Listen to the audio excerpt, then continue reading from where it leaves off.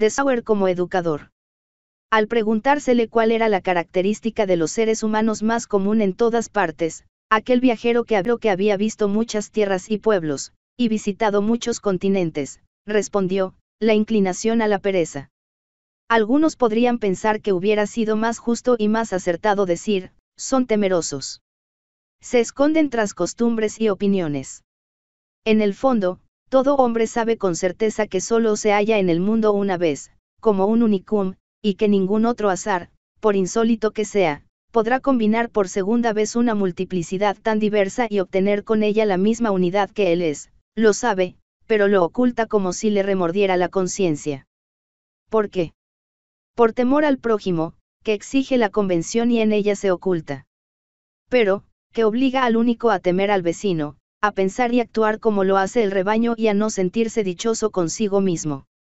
El pudor acaso, en los menos, pero en la mayoría se trata de comodidad, indolencia, en una palabra, de aquella inclinación a la pereza de la que hablaba el viajero.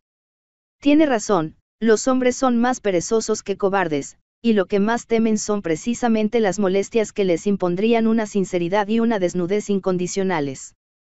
Solo los artistas odian ese indolente caminar según maneras prestadas y opiniones manidas y revelan el secreto, la mala conciencia de cada uno, la proposición según la cual todo hombre es un milagro irrepetible, solo ellos se atreven a mostrarnos al ser humano tal y como es en cada uno de sus movimientos musculares. Único y original, más aún, que en esta rigurosa coherencia de su unidad es bello y digno de consideración, nuevo e increíble como toda obra de la naturaleza y en modo alguno aburrido.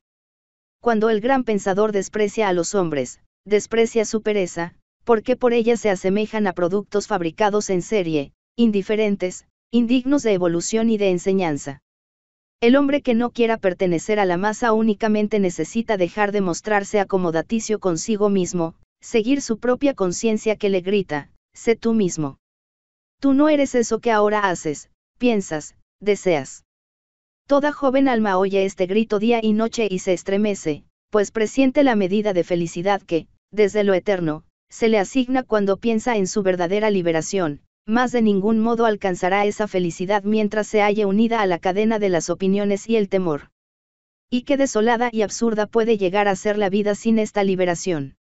No existe en la naturaleza ninguna otra criatura más vacía y repugnante que el hombre que se aparta de su genio y no mira sino a derecha e izquierda, hacia atrás y al horizonte. Al final, es completamente ilícito atacar a un hombre así, pues no es más que envoltura exterior carente de contenido, una vestidura ajada, pintarrajeada, hinchada, un espectro aureolado que no suscita temor ni compasión. Y si con razón se dice del perezoso que, mata el tiempo, habrá que cuidarse seriamente de que un periodo, una época, que cifra su salud en la opinión pública, es decir, en las peraces privadas, muera realmente de una vez, quiero decir, que se la suprima de la historia de la verdadera liberación de la vida. Qué grande debe de ser la repugnancia de las generaciones futuras al ocuparse de la herencia de una época en la cual no regían hombres vivos sino apariencias humanas con opinión pública. Por eso, probablemente nuestro tiempo será, para alguna otra lejana edad posterior, el más oscuro y desconocido, en tanto que el periodo más inhumano de la historia. Camino por las calles nuevas de nuestras ciudades y pienso que de todas esas casas horribles que ha construido la generación de los que opinan públicamente no quedará nada en pie dentro de un siglo, y que también entonces se habrán derrumbado las opiniones de esos constructores de casas. En cambio, grande es la esperanza de quienes no se consideran ciudadanos de estos tiempos, y es que, si lo fuesen, habrían contribuido a matar su tiempo, y con su tiempo se habrían hundido, mientras que, por el contrario, ellos no querían, sino que su época despertara a la vida, a fin de existir en esa misma vida.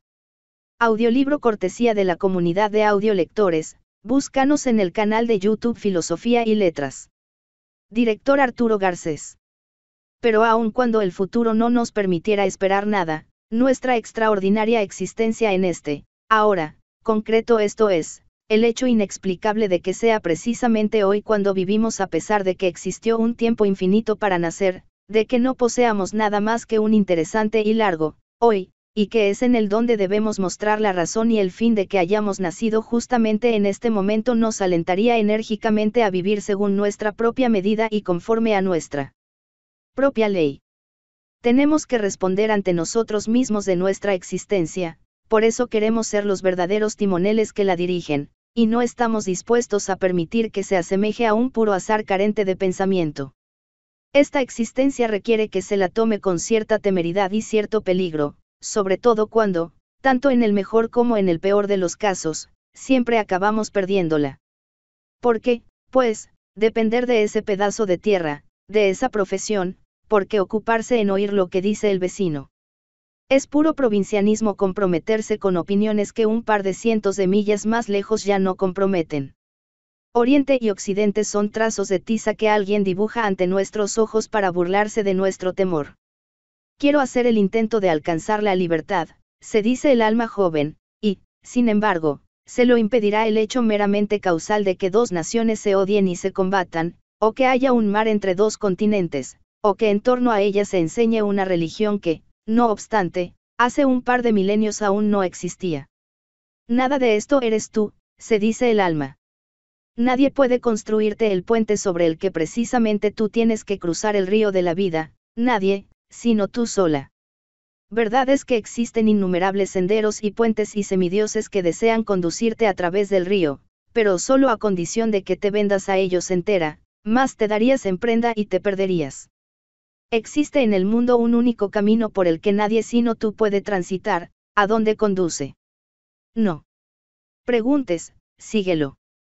¿Quién fue el que pronunció la sentencia? Un hombre no llega nunca tan alto como cuando desconoce a dónde puede conducirlo su camino.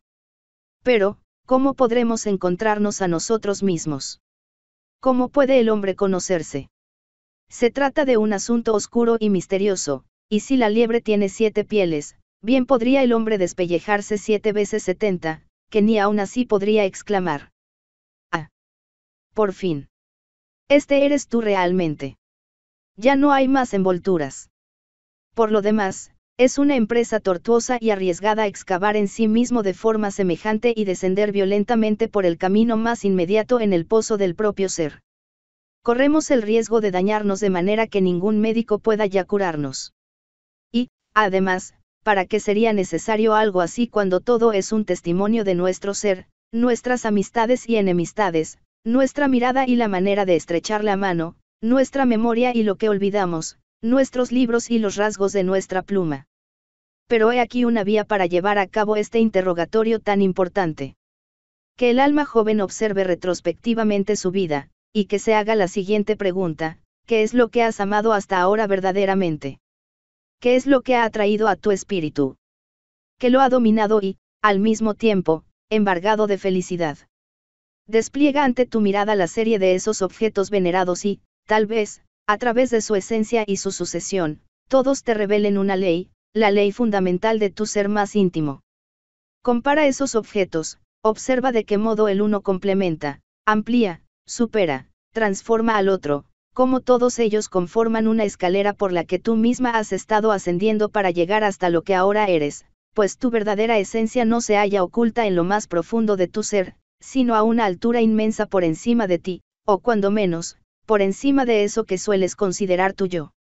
Tus verdaderos educadores y formadores te revelan cuál es el auténtico sentido originario y la materia fundamental de tu ser, algo que en modo alguno puede ser educado ni formado y, en cualquier caso, difícilmente accesible, capturable, paralizable, tus educadores no pueden ser otra cosa que tus liberadores.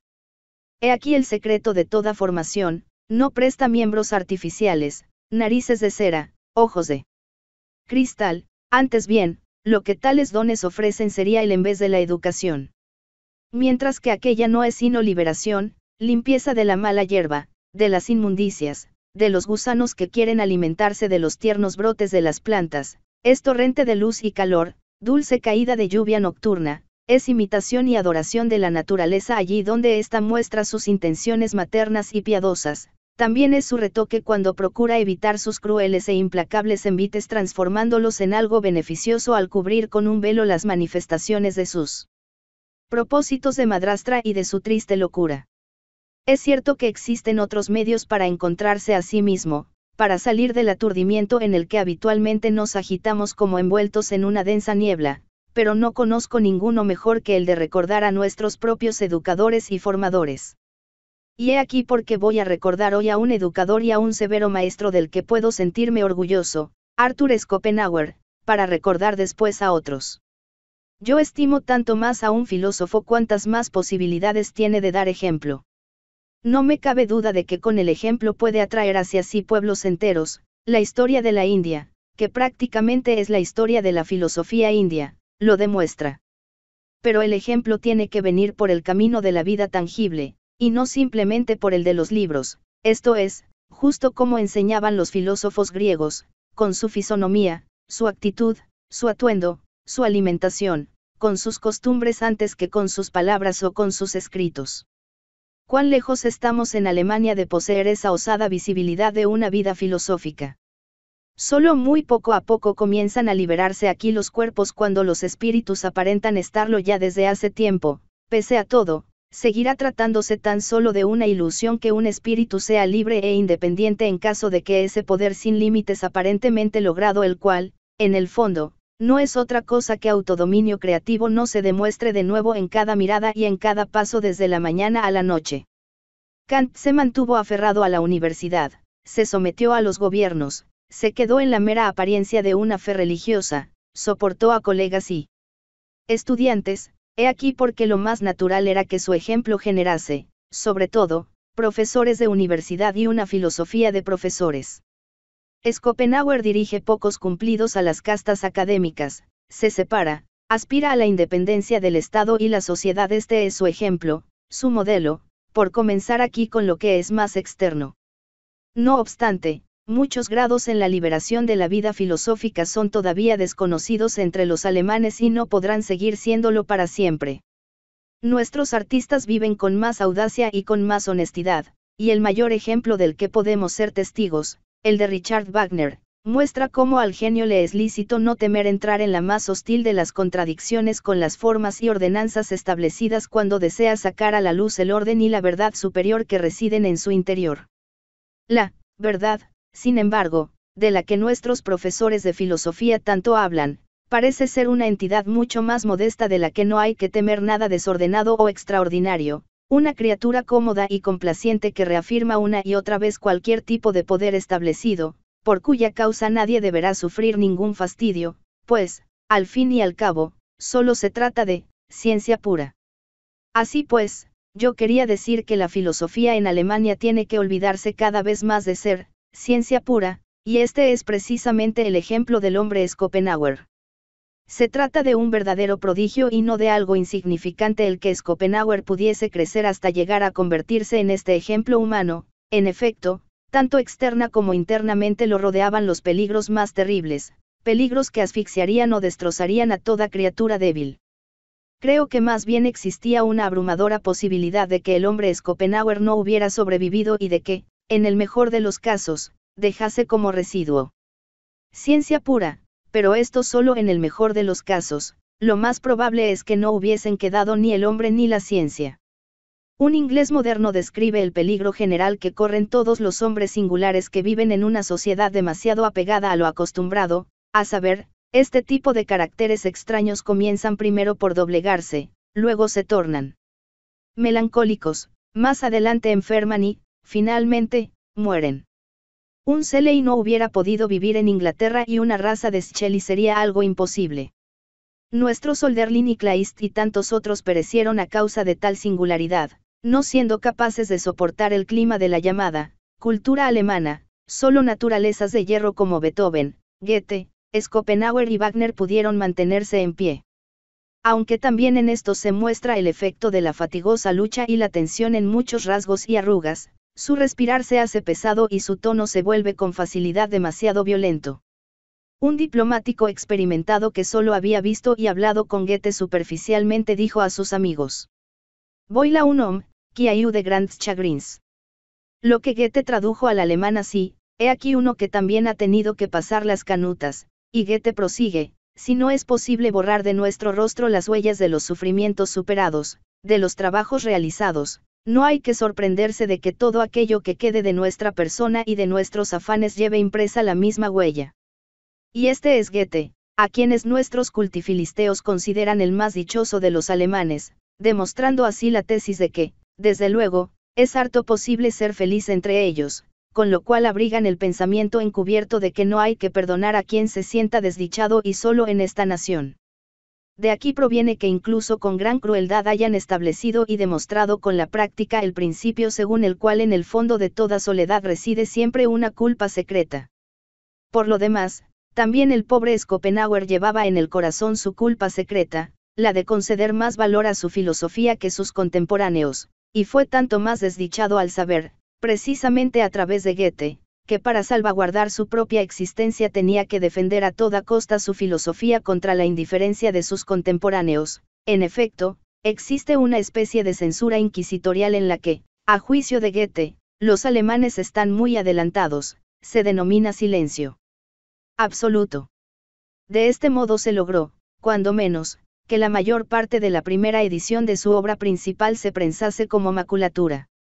El peligro amenazador de que su gran empresa quedase simplemente en nada debido a la indiferencia de la que era objeto lo sumió en una terrible inquietud difícilmente domeñable, no surgió ni un solo seguidor digno de mención. Entristece verlo ir a la casa del menor atisbo de su notoriedad, y su triunfo final, sonado y más que sonado, cuando realmente se lo leyó, Legeit y Legar, tiene algo de doloroso y conmovedor. Precisamente todos estos rasgos, con los que no hace gala de la dignidad de un filósofo, revelan al hombre sufriente que teme por el más preciado de sus bienes, así, lo torturaba el pensamiento de perder su pequeña fortuna y verse condenado a prescindir de su posición verdaderamente genuina y clásica frente a la filosofía, y cuántas veces, desengañado en su afanosa búsqueda de un ser humano en quien pudiera confiar, tuvo que tornar su melancólica mirada hacia su fiel perrillo faldero. Era un verdadero eremita, Ningún amigo que realmente sintiera como él lo consoló y, entre uno y ninguno, reside aquí, a semejanza que entre, algo, y, nada, una infinitud. Nadie que tenga verdaderos amigos sabe qué es la auténtica soledad, es como si él solo tuviera que enfrentarse al mundo entero. Ay. Bien me doy cuenta de que no sabéis qué es la verdadera soledad. Allí donde existieron alguna vez poderosas sociedades, gobiernos, religiones, Opinión pública, en una palabra, donde existió cualquier tipo de tiranía, allí se odió al filósofo solitario, pues la filosofía ofrece al hombre un asilo en el que ninguna tiranía puede penetrar, la caverna de la intimidad, el laberinto del pecho, y esto enfurece a los tiranos. En ella se refugian los solitarios, pero también en ella acecha el mayor peligro a quien está solo. Estos hombres que pusieron a salvo su libertad en el interior de sí mismos no tienen más remedio que vivir también para el exterior, tornarse visibles, dejarse ver, se hallan sujetos por múltiples lazos humanos, por su nacimiento, residencia, educación, patria, circunstancia, imposiciones ajenas, asimismo se presupondrán en ellos numerosas opiniones solo por el hecho de que éstas son las dominantes, todo gesto que no niegue servirá de aprobación, todo movimiento de la mano que no destruya será interpretado como asentimiento.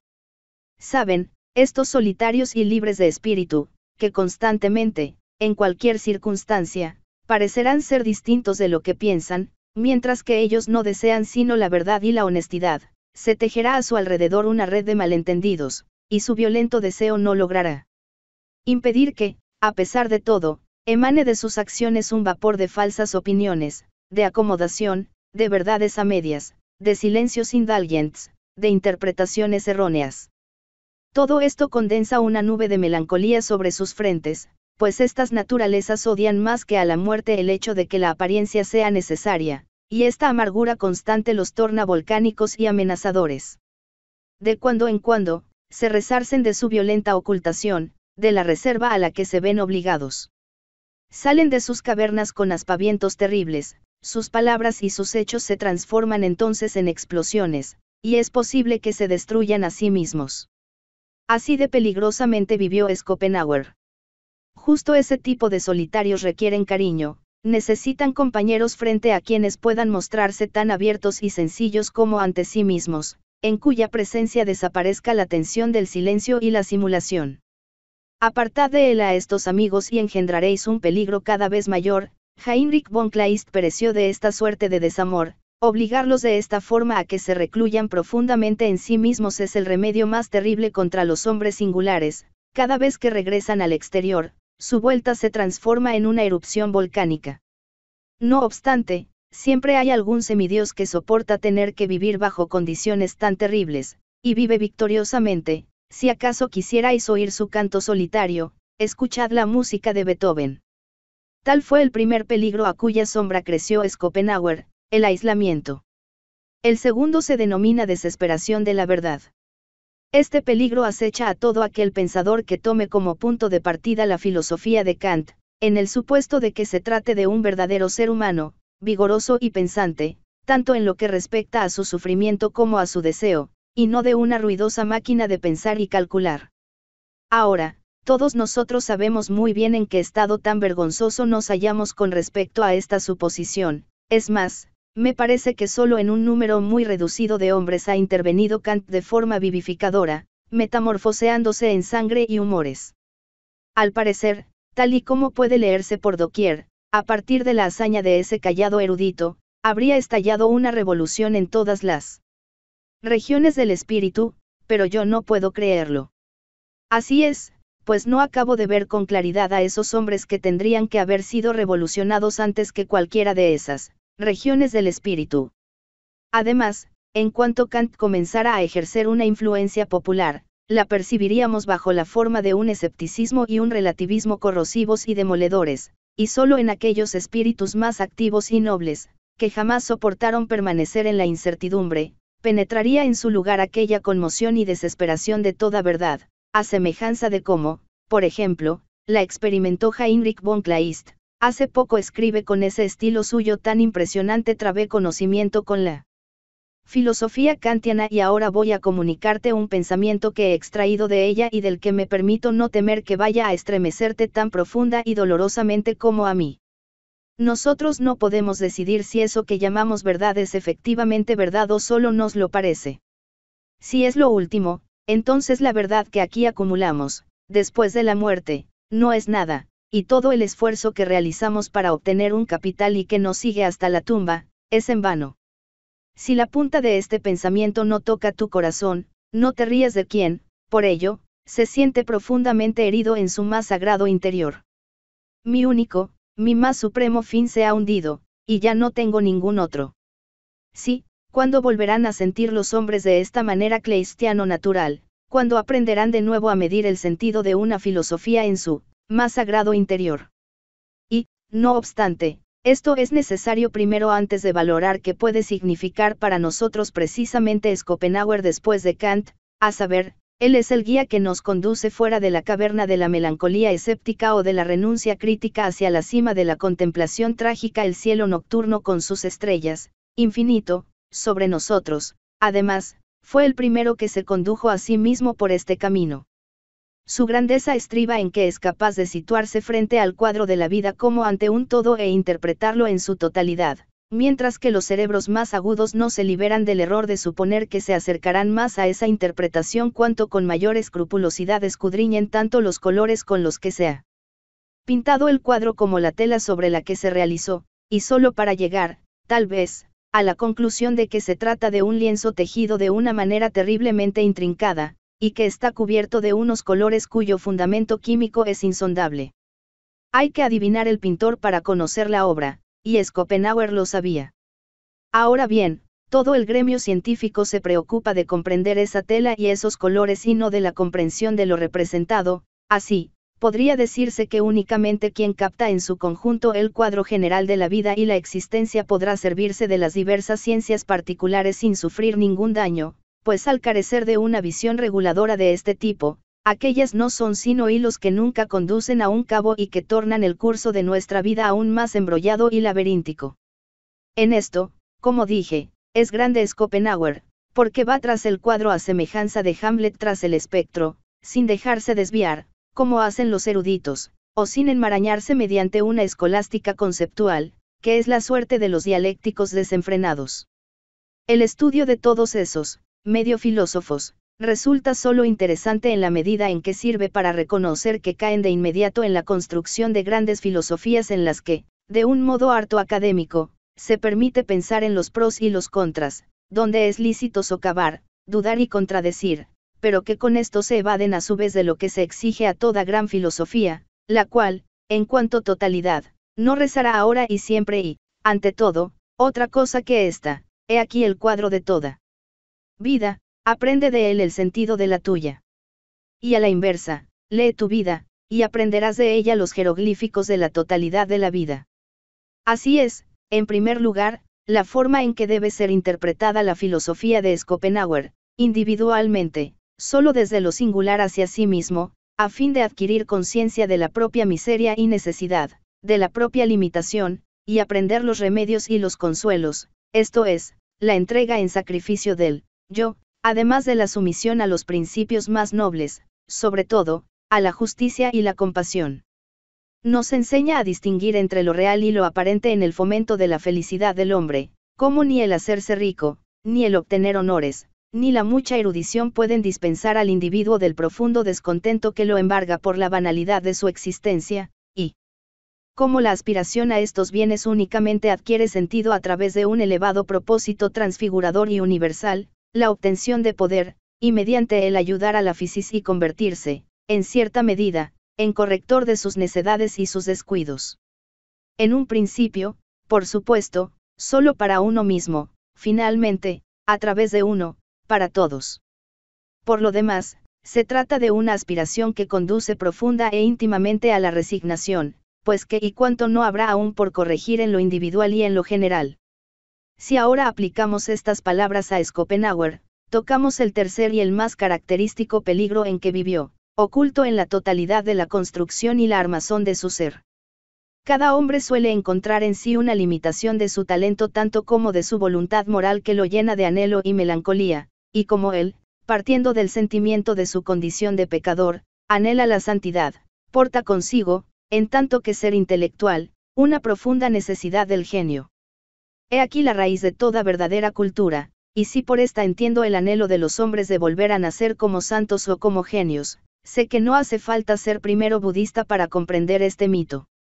Allí donde encontramos al talento carente de ese anhelo, en los círculos de los eruditos y de quienes se denominan personas cultas, nos suscita asco y repugnancia, pues intuimos que esos seres, con todo su espíritu, no favorecen, sino que impiden el desarrollo de una cultura y la procreación del genio, lo cual es el propósito de toda cultura. Se trata aquí de un estado de endurecimiento equivalente en su valor a la virtud habitual, fría y pagada de sí misma que está muy lejos y, sobre todo, que es lo más extraño a la verdadera santidad. Ahora bien, la naturaleza de Schopenhauer contenía una dualidad singular y extremadamente peligrosa. Pocos pensadores han sentido en grado similar y con la misma incomparable seguridad la sensación de que en su interior moraba realmente el genio, y ese genio le prometía lo máximo, esto es, que no habría surco más profundo que el que hendiera su arado en el terreno de la humanidad moderna. Así, sabía que la mitad de su ser estaba satisfecha y completa, carente de deseos, segura de su vigor, de ahí que realizase su misión con grandeza y dignidad, como alguien victorioso que hubiera alcanzado la perfección. En su otra mitad residía un anhelo incontenible, lo comprendemos al oír las palabras que pronunció al desviar dolorosamente su mirada de un retrato de Rancé, el gran fundador de la trapa, eso es cosa de la gracia, murmuró. En efecto, el genio añora profundamente la santidad, porque desde su atalaya ha visto más lejos y más claro que cualquier otro hombre, hacia las profundidades, en la conciliación entre el conocer y el ser, hacia las alturas, en el reino de la paz y la negación de la voluntad, y más allá de, la otra ribera, de la que hablan los hindúes. Pero, precisamente, he aquí el milagro, cuán incomprensible e indestructible debió de ser la naturaleza de Schopenhauer para que no la destruyera esa añoranza, y para que tampoco la endureciera. ¿Qué significa esto? Lo comprenderá cada uno según la medida de lo que sea y valga en sí mismo, pero en su totalidad, con todo su peso, no lo comprenderemos ninguno de nosotros. Cuanto más se reflexiona acerca de los tres peligros descritos, tanto más extraño parece que Schopenhauer pudiera defenderse de ellos con tamaña energía y que pudiera salir de la lucha de lo más erguido y en tal estado de salud. Ciertamente, también con muchas cicatrices y heridas abiertas, y en un estado de ánimo que, acaso puede parecer demasiado áspero, tal vez excesivamente belicoso. También sobre el más grande de los hombres se eleva su propio ideal. Que Schopenhauer pueda ser un modelo es indudable, a pesar de todas sus cicatrices y de todos sus defectos. Y hasta podría decirse que eso que había en su ser de más imperfecto y de demasiado humano es justo lo que a nosotros nos hace, en sentido humano, mucho más próximos a él, porque lo vemos como a un ser sufriente y compañero de infortunios, y no solo aureolado e inmerso en esa desdeñosa majestad del genio. Esos tres peligros de la Constitución, que amenazaban a Schopenhauer, nos amenazan a todos nosotros. Cada hombre porta en su interior, como núcleo de su ser, una unicidad productiva, y, si llega a hacerse consciente de esta unicidad, se difunde a su alrededor un extraño resplandor, el resplandor de lo extraordinario. Esto es para la mayoría algo insoportable, porque, como ya he dicho, los seres humanos son perezosos y porque de esa unicidad pende una cadena de molestias y esfuerzos. No cabe duda de que para el ser extraordinario que carga con esta cadena, la vida sacrifica casi todo aquello que se anhela en la juventud, jovialidad, seguridad, ligereza, honor, el premio de la soledad es el regalo que le hacen sus congéneres, el desierto y la caverna surgen de inmediato allí donde quiera que viva. Entonces tendrá que cuidarse de no dejar que lo sometan, de no sentirse oprimido, así como de caer en la melancolía. De ahí que se rodee de imágenes de buenos y bravos guerreros, semejantes al propio Schopenhauer. Pero incluso el segundo peligro que amenazó a Schopenhauer no es del todo una excepción. Aquí y allá siempre hay alguien a quien la naturaleza dota de agudeza mental, sus pensamientos transitan de buen grado por el ambiguo camino de la dialéctica, con qué facilidad, si despreocupadamente da rienda suelta a su talento, acaba destruyéndose como hombre, e inmerso en la ciencia pura, lleva tan solo una vida de espectro, o, acostumbrado a buscar siempre el pro y el contra de las cosas, pierde en general el sentido de la verdad, y de este modo, tiene que vivir carente de valentía y de confianza, negando, dudando, corroído, insatisfecho, con la esperanza a medias, siempre aguardando la desilusión, ni siquiera un perro querría seguir soportando semejante vida por más tiempo. El tercer peligro es el endurecimiento moral o intelectual, el hombre rompe el vínculo que lo unía con su ideal, deja de ser fértil en uno u otro ámbito y, en lo que se refiere a la cultura, acaba por debilitarse o tornarse inútil. La unicidad de su ser se transforma en un átomo indivisible e incomunicado, en una roca gélida. Y he aquí que tanto puede perecerse a causa de la unicidad como por el temor a la unicidad, en sí mismo o abandonándose a la renuncia de sí mismo, a causa de la nostalgia o a causa del endurecimiento, pues vivir, en general, quiere decir estar en peligro. Aparte de esos riesgos de constitución a los que Schopenhauer se habría visto sometido en cualquier siglo en el que hubiera vivido, existen aún otros peligros que lo amenazaban en su tiempo, y esta distinción entre peligros constitutivos y peligros del tiempo es esencial para comprender aquello que en la naturaleza de Schopenhauer hay de modélico y de instructivo. Pensemos en el ojo del filósofo clavado en la existencia, anhela fijar de nuevo su valor. En efecto, esta ha sido la tarea propia de todos los grandes pensadores, la de los legisladores de la medida, la moneda y el peso de las cosas. ¿Cuánto debe de contrariarle que la humanidad que ve ante sí sea solo un fruto podrido y corroído por los gusanos? ¿Cuánto tendrá que añadir a la falsedad de calores del tiempo presente para ser justo con la existencia en general? si la ocupación con la historia de pueblos antiguos o extraños es algo valioso, aún lo es más para el filósofo que pretenda extraer un juicio justo acerca del conjunto de la fortuna humana, no solo acerca de aquella suerte media, sino sobre todo acerca de la suerte suprema que puede afectar tanto a individuos particulares como a pueblos enteros. Ahora bien, todo presente es impertinente, actúa sobre el ojo y lo determina incluso cuando el filósofo no quiere, de modo que involuntariamente se lo tasará demasiado alto a la hora de realizar la suma total. Por eso el filósofo debe saber valorar bien su propia época diferenciándola de las otras y, superando para sí el presente, también superarlo en los cuadros que muestra de la vida, esto es, hacerlo imperceptible y a la vez desdibujarlo. Se trata de una tarea muy difícil y apenas realizable. El juicio de antiguos filósofos griegos acerca del valor de la existencia expresa acaso más que un juicio moderno, porque ellos tenían ante sí y a su alrededor la vida misma en una exuberante perfección, y porque en ellos el sentimiento del pensador no se confunde, como en nosotros, en el dilema entre el deseo de libertad, la belleza, la grandeza de la vida, y el impulso hacia la verdad, que no pregunta sino, ¿cuál es, en definitiva, el valor de la existencia?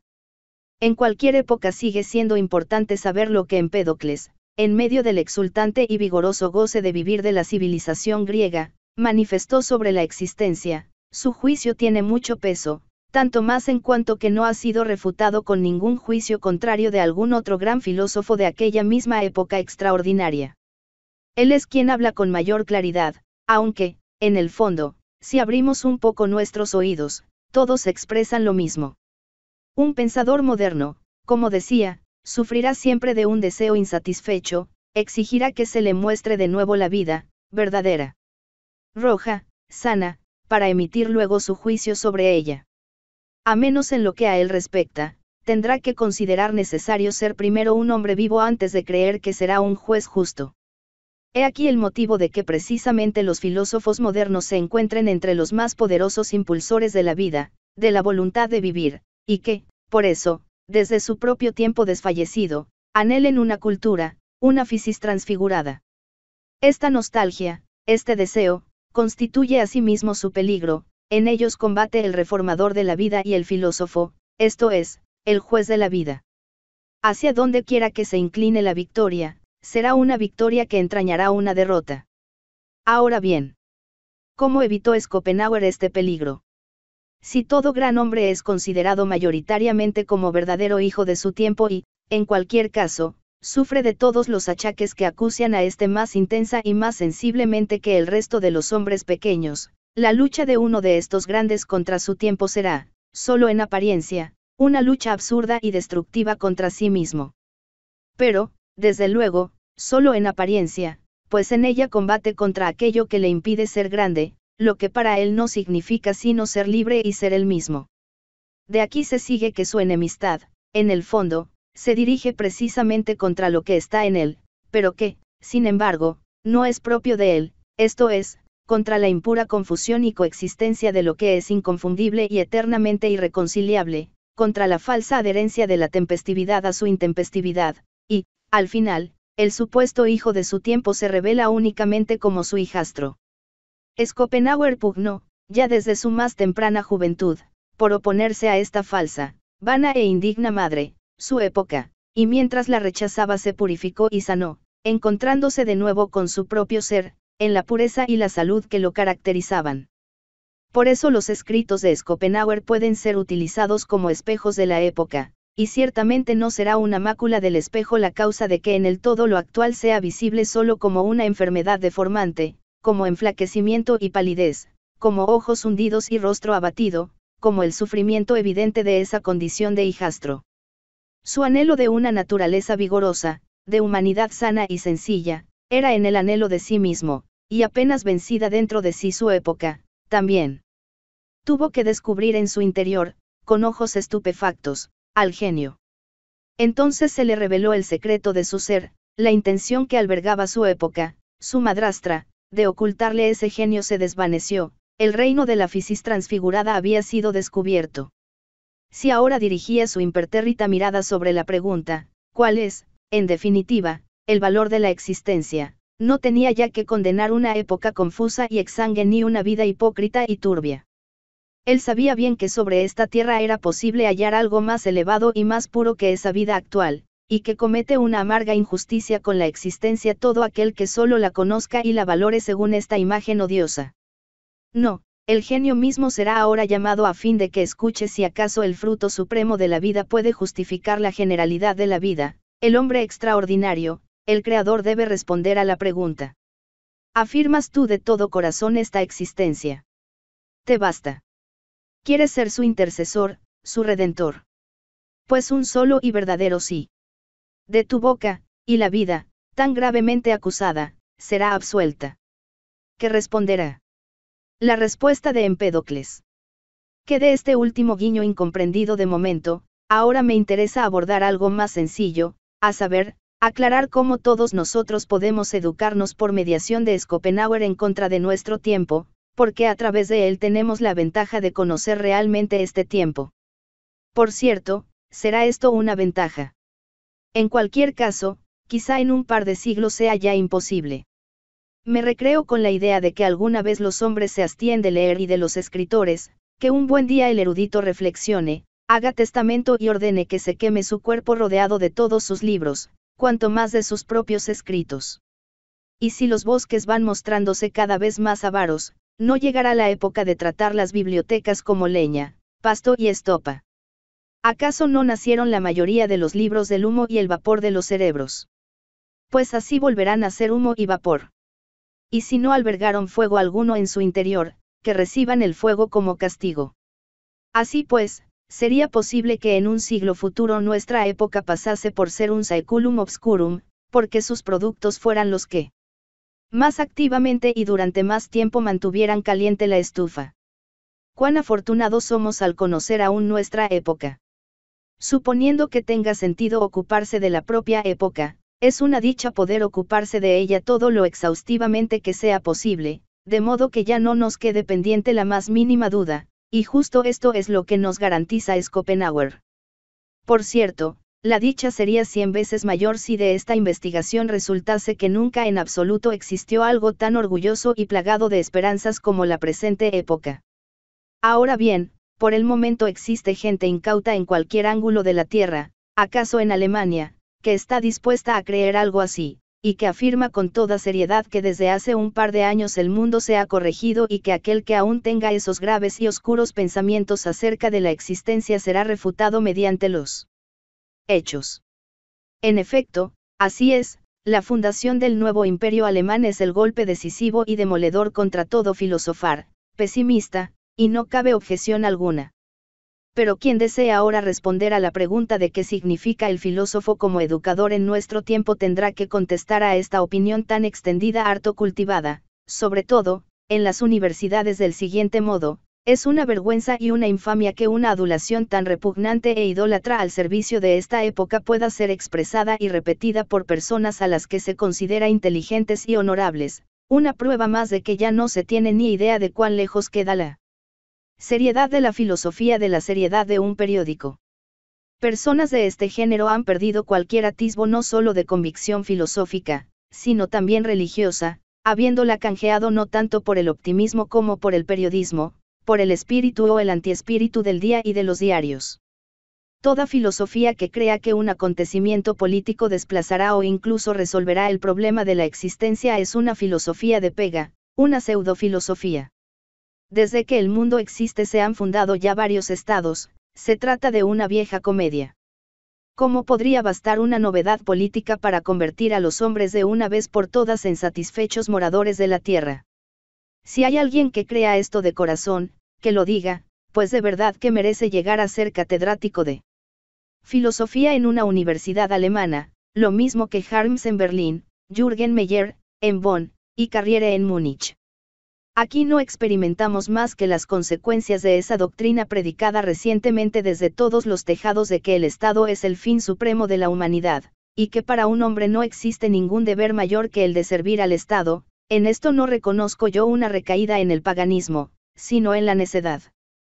Pudiera ser que un hombre así, que ve en el servicio al Estado su más alto deber, no conozca realmente ningún deber mayor, pero esto no quita que más allá existan otros hombres y otros deberes, y uno de estos deberes, que al menos para mí cuenta más que el de servir al Estado, exige que se destruya la necedad en cualquiera de sus formas, por consiguiente, también aquella necedad. A esto se debe que me ocupe aquí de una especie de hombres cuya teleología conduce a algo más que a la prosperidad de un Estado, de los filósofos, y con respecto a estos, solo de un mundo que, a su vez, es bastante independiente del bien del Estado, el mundo de la cultura de los muchos anillos que, insertados de cualquier modo, conforman la comunidad humana, algunos son de oro y otros de tumbaga. Ahora bien, ¿cómo considera el filósofo la cultura en nuestro tiempo? Ni qué decir tiene que de modo muy distinto a esos profesores de filosofía que se muestran tan satisfechos de su estado. Quizá le parezca, si piensa en esa premura general y en ese incremento de la velocidad de caída, en el cese de todo recogimiento y simplicidad, que estuviera percibiendo los síntomas de una completa destrucción y estirpación de la cultura. Los manantiales de la religión cesan de fluir y dejan tras de sí pantanos o estanques, las naciones se dividen de nuevo con inusitada hostilidad ansiando devorarse. Las ciencias, cultivadas sin atisbo alguno de medida, en el ciego laissez despedazan y disuelven todo lo que se consideraba firme y consistente, las clases y los estados cultivados son engullidos por una economía gigantesca y desdeñosa. Nunca fue el mundo más mundo, nunca fue tan pobre en amor y bondad. Las clases cultas han dejado de ser faros o asilos en medio de toda esa tormenta de mundanería, ellas mismas se muestran también. Cada día más nerviosas, más carentes de ideas y de amor. Todo sirve a la barbarie futura, el arte y la ciencia actuales incluidas. El hombre culto ha degenerado hasta convertirse en el mayor enemigo de la cultura, pues se empeña en disimular la enfermedad general y se torna un obstáculo para los médicos.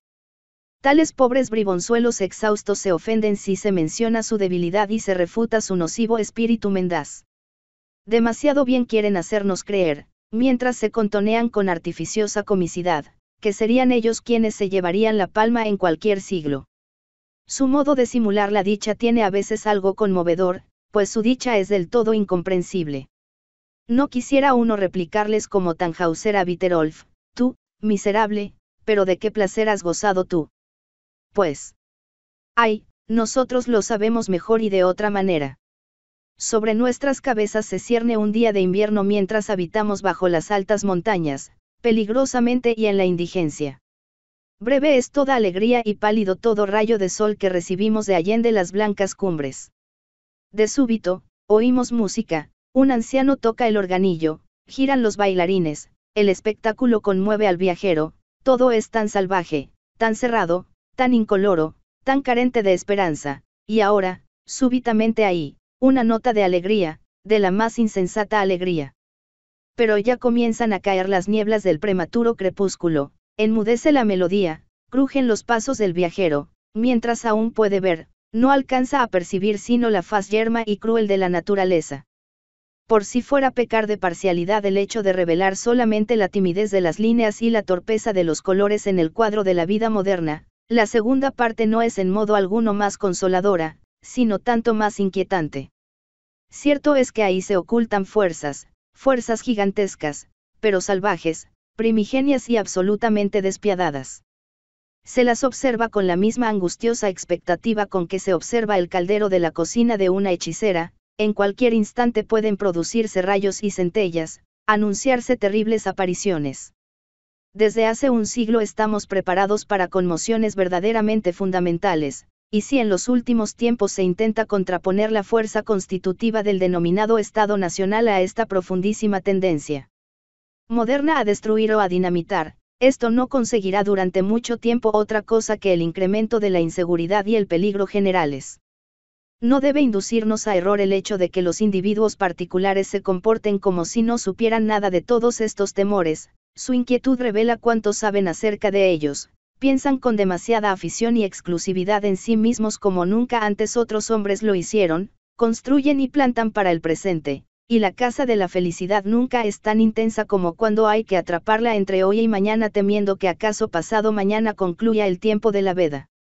Vivimos el periodo del átomo, del caos atómico. En la Edad Media, la Iglesia tenía las fuerzas hostiles más o menos bajo control, y gracias a la fuerte presión que ejercía sobre ellas, en cierta manera, se mantenían parejas unas a otras.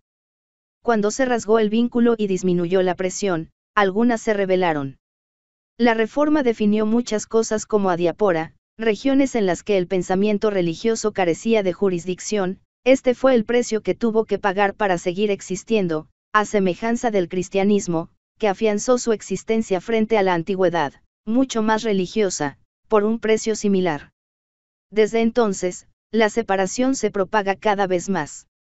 Hoy, Tan solo las fuerzas más groseras y malvadas determinan prácticamente lo que existe sobre la Tierra manifestándose por medio del egoísmo de los propietarios y del militarismo de los déspotas violentos. El Estado, en manos de estos últimos, y a causa del egoísmo de los primeros, comienza la tentativa de reorganizar todo de nuevo partiendo de sí mismo, y de convertirse en vínculo y presión para todas aquellas fuerzas hostiles, en esto percibimos su deseo de que la totalidad de los hombres le rinda un culto divino semejante al que anteriormente rendía a la Iglesia. ¿Con qué consecuencias? Ya las experimentaremos, en cualquier caso, aún hoy nos hallamos en el glaciar de la Edad Media, ha comenzado el deshielo y, con él, el inicio de un movimiento devastador. Los témpanos de hielo chocan entre sí y se superponen, las orillas se han inundado y corren peligro. La revolución, la de los átomos, es ya inevitable, pero, ¿cuáles son los elementos más pequeños e indivisibles de la sociedad humana? No cabe duda de que, al aproximarse estos periodos, lo humano corre casi más peligro que durante el choque y el propio torbellino caótico, y que la pavorosa expectativa y la ávida explotación de cada minuto excitan toda la cobardía y los instintos egoístas del alma. Sin embargo, la calamidad real, y especialmente la generalidad de una gran catástrofe, suele mejorar y reconfortar a los hombres. Ahora bien, ante la proximidad de estos peligros que acechan a nuestra época, quien dedicará ahora su servicio de centinela y de caballero a la humanidad, al sagrado e inviolable tesoro del templo acumulado poco a poco por las diversas generaciones. Quien erigirá la imagen del hombre mientras todos los demás solo sienten en su interior el gusano del egoísmo y el miedo cerval, y se desvían de aquella imagen de tal modo que caen en la animalidad o en el rígido mecanicismo. Hay tres imágenes del hombre que nuestra época moderna ha erigido una tras otra y de cuya visión los mortales tomarán todavía durante mucho tiempo el impulso para una transfiguración de su propia vida, a saber, el hombre de Rousseau, el hombre de Goethe y, finalmente, el hombre de Schopenhauer. De estas, la primera imagen es la más fogosa y, ciertamente, la de efecto más popular, la segunda se hizo para muy pocos, esto es, para quienes poseen naturalezas contemplativas en gran estilo, y es incomprendida por la masa. La tercera exige que quienes la consideren sean los hombres más activos, solo ellos podrán hacerlo sin prejuicios, pues enerva a los contemplativos y espanta a la masa. De la primera imagen emana una fuerza que impulsó tempestuosas revoluciones y todavía las impulsa, en efecto, en toda convulsión y terremoto socialista es aún el hombre de Rousseau el que se agita a semejanza del viejo tifón bajo el Etne. Oprimido y casi aplastado por castas arrogantes, por la riqueza despiadada, corrompido por sacerdotes y por una pésima educación, humillado ante sí mismo por costumbres ridículas, clama el hombre en su desgracia a la santa naturaleza, y advierte de pronto que ésta se halla tan alejada de él como uno cualquiera de aquellos dioses epicúreos. Sus plegarias no la alcanzan, tan profundamente inmerso está en el caos de la antinaturaleza. Este hombre arroja fuera de sí con desprecio todos los chillones adornos que hacía poco tiempo aún le parecían constituir su distintivo más humano, sus artes y sus ciencias, el conjunto de las ventajas de su vida refinada, con el puño golpea contra el muro a cuya sombra degeneró hasta convertirse en lo que es y clama pidiendo luz, sol, bosques y peñascos. Y cuando grita, Solo la naturaleza es buena, solo el hombre natural es humano, se desprecia a sí mismo y se anhela más allá de sí mismo, es una circunstancia en la que el alma está dispuesta a extraer conclusiones terribles, pero en la que también extrae de sus profundidades lo que en ella hay de más noble y de más extraordinario. El hombre de Goethe no constituye un peligro tan amenazador, y, en cierto sentido, se trata incluso del correctivo y el quietivo apropiado para esas peligrosas agitaciones a las que se abandona el hombre de Rousseau. Goethe mismo, en su juventud, profesó con todo su buen corazón ese evangelio de la buena naturaleza, su Fausto constituyó el retrato más elevado y audaz del hombre de Rousseau, al menos en tanto que quiso representar su hambre apasionada de vida, su descontento y su anhelo, su trato con los demonios del corazón. Ahora bien, Obsérvese qué es lo que sale de todo ese cúmulo de nubes, cierto, ningún relámpago. Y aquí se revela, precisamente, la nueva imagen del hombre, del hombre guetiano. Se podría pensar que Fausto será conducido a través de la vida, oprimida en todas partes, como un rebelde y un libertador insaciable, como la fuerza negadora por bondad, como el genio verdadero religioso y demoníaco de la revolución en contraste con su nada demoníaco acompañante, a semejanza del trágico destino de todo rebelde y libertador, tampoco él pudo deshacerse de este acompañante y tuvo que servirse simultáneamente de su maldad escéptica y de su negación. Pero se equivoca quien espere algo de tal género, el hombre de Goethe se aparta aquí del hombre de Rousseau, pues detesta toda violencia, todo salto, lo cual quiere decir toda acción, y así, del Redentor del mundo, Fausto, quedará solamente algo semejante a un viajero alrededor del mundo. Este ávido espectador verá pasar volando ante sí toda la riqueza de la vida y de la naturaleza, el pasado, las artes, las mitologías, todas las ciencias, el deseo más profundo es excitado y calmado, incluso Elena no lo retiene mucho tiempo, y entonces tiene que llegar el instante que aguarda su insidioso acompañante. En un punto cualquiera de la Tierra finaliza el vuelo, caen las alas y ahí a Mefistófeles. Cuando el alemán deja de ser Fausto, el peligro mayor es que se convierta en filisteo y caiga en manos del diablo, solo poderes celestiales podrán salvarlo de ese destino. El hombre de Goethe, como he dicho, el hombre contemplador en gran estilo, que no languidece sobre la tierra únicamente debido a que recoge para su alimento todo aquello que de grande y memorable existió y aún existe, este hombre, como digo, que vive, aunque solo se trate de una vida que salta de deseo en deseo, queda muy lejos del hombre de acción. Es más, si en cualquier punto se inmiscuye en el orden establecido por los hombres de acción, podemos estar seguros de que de ahí no saldrá nada al derecho como quizá es el caso del enorme celo que Goethe demostró por el teatro y, sobre todo, de que no se quebrará ningún orden establecido. El hombre goetiano es una fuerza conservadora y tolerante, pero corre el peligro, como he dicho, de degenerar en filisteo, a semejanza del hombre de Rousseau, que fácilmente se convierte en un catilinario. Un poco más de fuerza muscular y de salvajismo natural en el primero y serían mayores todas sus virtudes. Parece que Goethe sabía dónde residía el peligro y la debilidad de su hombre, y así parece indicarlo con aquellas palabras de Jarno a Wilhelm Meister, está usted enojado y desabrido, lo cual está muy bien. Y aún sería mejor si se enojase del todo. Así pues, hablando claro, es necesario que alguna vez nos Enojemos del todo, para que las cosas vayan mejor. Y aquí es donde la imagen del hombre de Schopenhauer debe estimularnos. El hombre schopenhaueriano asume sobre sí el dolor voluntario de la veracidad, y este dolor le sirve para mortificar su voluntad personal y para preparar aquella completa revolución y aquel cambio completo cuyo logro constituye el sentido último de la vida. Esta proclamación de la verdad les parece a los demás hombres una emanación del mal, pues consideran un deber humanitario la conservación de su mediocridad y de su mentira y creen que hay que ser malvado para destrozarle su juguete. A uno de estos no tendrán. Por menos que gritarle aquello que Fausto dice a Mefistófeles, a la potencia eternamente activa, a la fuerza saludable y creadora, opones tú la helada mano del diablo, y aquel que quisiera vivir escopenhauerianamente es muy probable que se pareciese más a un Mefistófeles que a un Fausto, en efecto, Así sería frente a los débiles ojos de los modernos, que siempre divisan en la negación la marca del mal. Existe, sin embargo, un modo de negar y de destruir que justamente emana de aquel acuciante anhelo de santificación y de salvación que es Schopenhauer, en tanto que primer maestro filosófico, impartió entre nosotros, hombres profanos y verdaderamente secularizados.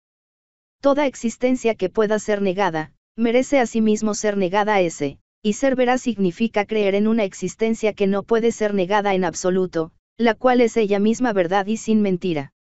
Por eso, quien es confiere a su acción un sentido metafísico, explicable según las leyes de una vida distinta y superior, y también otro más profundo, afirmativo, y esto aun cuando todo lo que haga no parezca sino un destruir y un quebrantar las leyes de esa vida. Su actividad se convierte, así, en un sufrimiento continuo, pero él sabe lo que también el maestro Eckhart sabe, el dolor es el animal que más velozmente os conduce a la perfección. Debo pensar que a cada uno de los que se proponen en su ánimo una orientación tal de su vida tendrá que ensanchársele el corazón y nacer en él un ardiente deseo de ser este hombre escopenhaueriano, esto es, limpio y puro con respecto a sí mismo y a su bien personal y de una admirable serenidad en su conocimiento, pleno de vigoroso fuego devorador y bien alejado de la fría y despreciadora neutralidad del llamado, hombre de ciencia, muy por encima de una contemplación hipocondríaca y pesarosa. Siempre dispuesto a sacrificarse entero como la primera víctima de la verdad descubierta, y penetrado en lo más profundo por la conciencia del sufrimiento que necesariamente tendrá que derivarse de su veracidad. Ciertamente, con su coraje destruye su felicidad terrena, tiene que ser enemigo incluso de los seres que ama, de las instituciones en cuyo seno se formó, será hostil, no le será lícito proteger ni a las personas ni a las cosas, aunque comparta el sufrimiento de las heridas que les infiera, será desconocido y durante mucho tiempo se le considerará aliado de poderes que aborrece, según la medida humana de su juicio, tendrá que ser injusto, a pesar de su aspiración a la justicia, aunque podrá infundirse ánimo y consolarse con las palabras que un día pronunció Schopenhauer, su gran educador. Una vida feliz es imposible, a lo máximo que puede aspirar el hombre es a una vida heroica. Obtiene una vida así quien, de alguna manera y por un motivo cualquiera, lucha con enormes dificultades por aquello que, en cierto modo, beneficia a todos y vence, pero al que luego, o bien se le recompensa pésimamente, o bien no se le recompensa en absoluto. Así pues, al final se queda como el príncipe del recorvo, de Gossi, petrificado, aunque con noble pose y magnánimo gesto. Su memoria permanece y se celebra como la de un héroe, su voluntad, mortificada por toda una vida de fatigas y pesares, de malos resultados y de la ingratitud del mundo, se disuelve en el nirvana.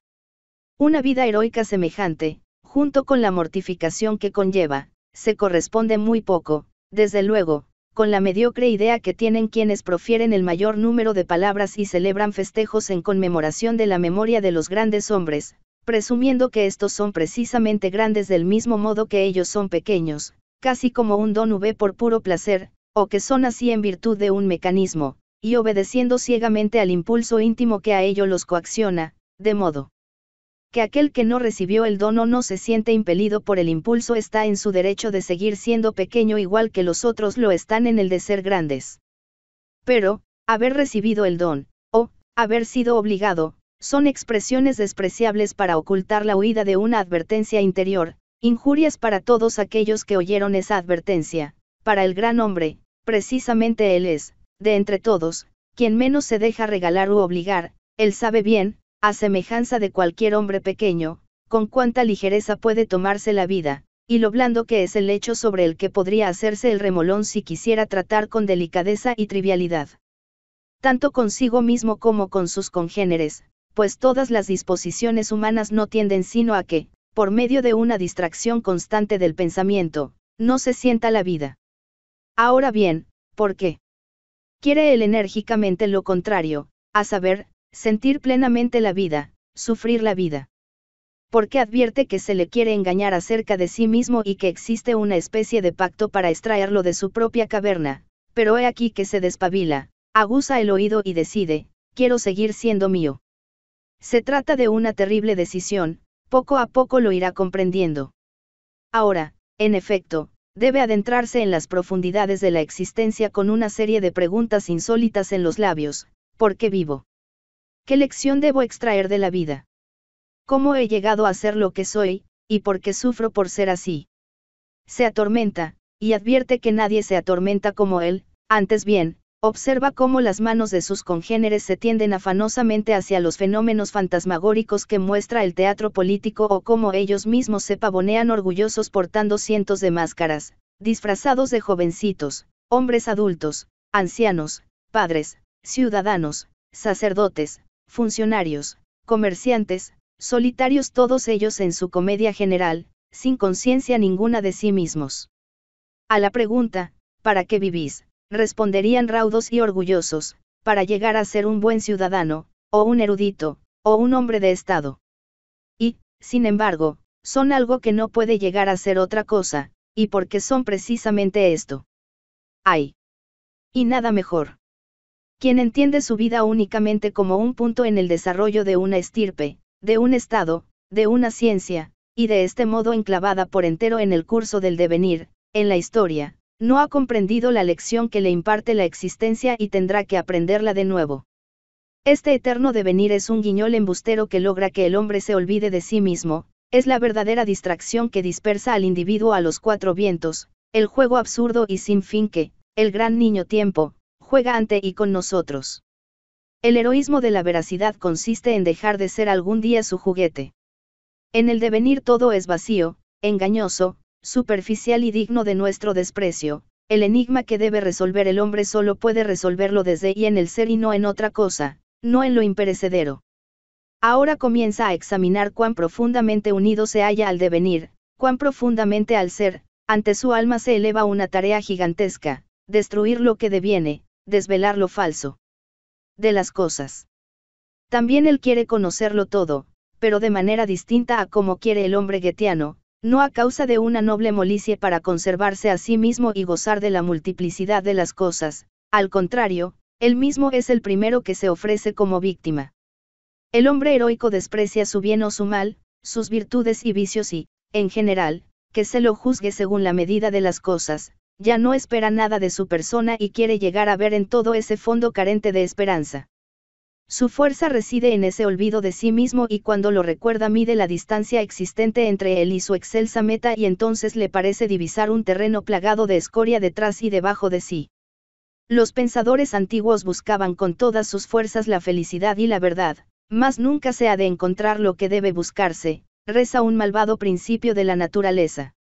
Pero quien busca en toda la falsedad y voluntariamente se hace cómplice de la infelicidad, provoca quizá otro milagro de la desilusión, algo inexpresable con respecto a lo cual felicidad y verdad solo son imitaciones idolátricas, acercándose, la tierra pierde su peso, los acontecimientos y los poderes terrenos se tornan en sueños, a semejanza de esos atardeceres de estío en los que todo nos parece sufrir una transfiguración.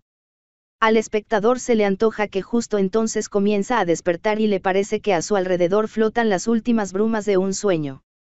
También éstas se disipan, ahora es de día. Con esto se han mencionado algunas condiciones bajo las cuales, a pesar de nocivas influencias contrarias, puede al menos nacer el genio filosófico en nuestro tiempo, libre virilidad del carácter, temprano conocimiento de los hombres, nada de educación erudita, nada de apego patriótico, ninguna necesidad de ganarse el pan, ninguna relación con el Estado, en una palabra, libertad y solo libertad, el mismo elemento extraordinario y peligroso en el que les fue lícito crecer a los filósofos griegos. Quien quiera reprocharle, como Nibur reprochó a Platón, que es un mal ciudadano, que lo haga y se limite a ser él mismo un buen ciudadano, este tendrá razón, y lo mismo Platón. Otro habrá que interprete esa gran libertad como presunción, también éste estará en lo cierto, porque él mismo, con esa libertad, no sabría hacer nada razonable, y, por lo demás, si la desease para sí sería, es cierto, muy presuntuoso. Aquella libertad es verdaderamente una culpa grave, y solo podrá espiarse por medio de grandes obras. En verdad, el común de los mortales tiene derecho a mirar con rencor a cada uno de esos privilegiados, más quiera algún Dios librarlo a él mismo de convertirse alguna vez en uno de ellos, es decir, de verse tan terriblemente comprometido. Perecería enseguida en su libertad y en su soledad, y se volvería loco, un loco malvado, por aburrimiento.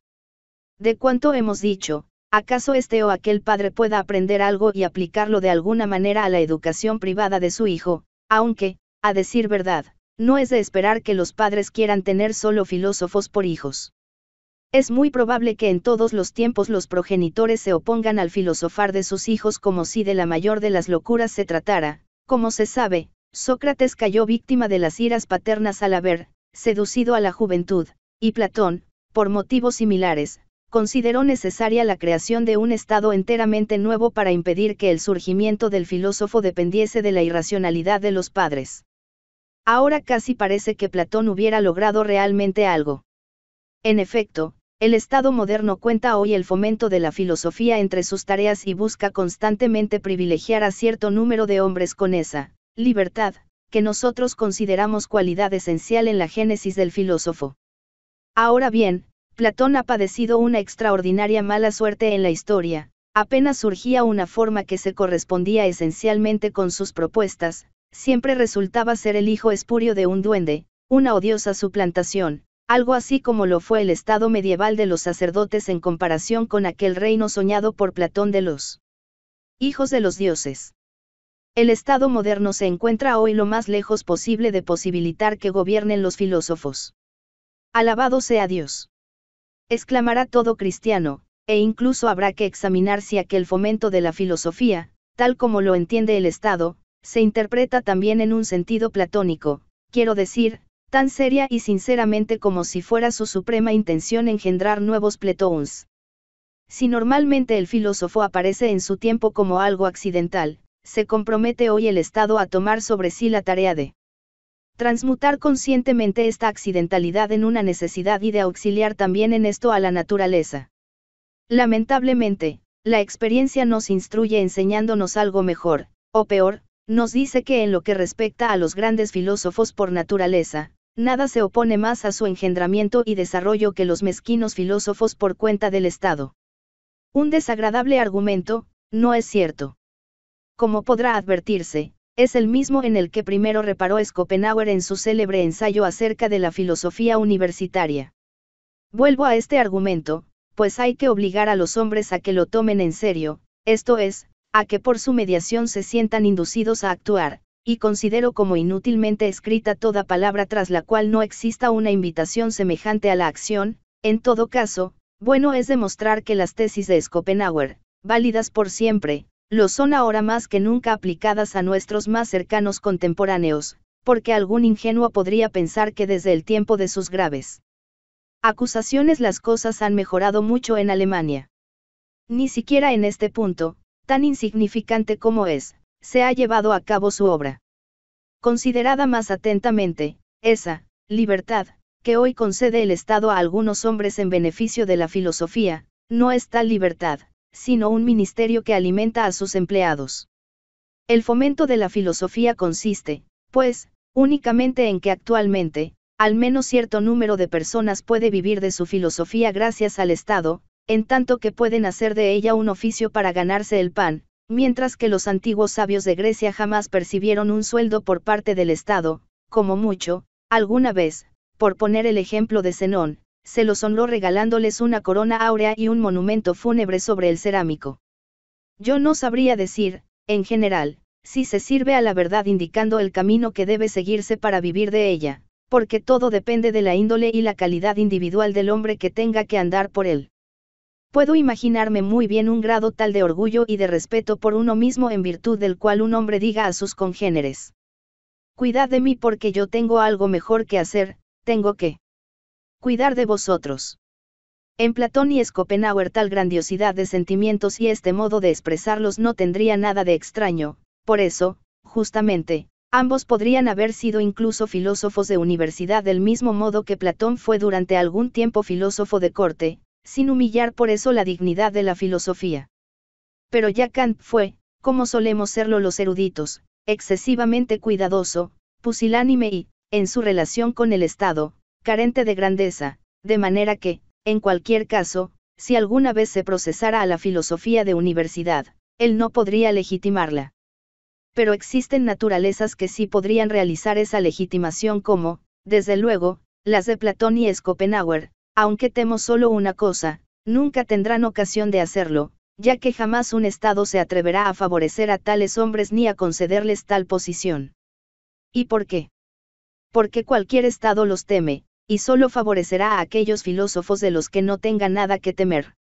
Sucede, ciertamente, que el Estado, en general, tiene miedo de la filosofía y, justo siendo este el caso, hará lo posible por atraer hacia sí a todos los filósofos que pueda, los cuales le confieren la apariencia de tener la filosofía de su parte, ya que consigue que lo apoyen quienes portan su enseña y, sin embargo, no tienen nada de temibles.